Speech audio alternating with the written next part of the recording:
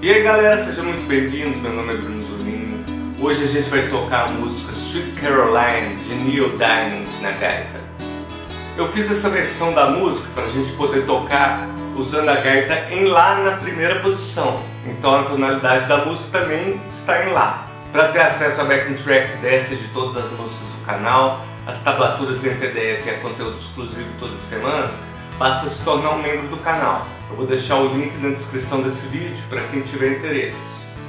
Então vamos pegar nossa gaita Lá e vamos tocar Sweet Caroline.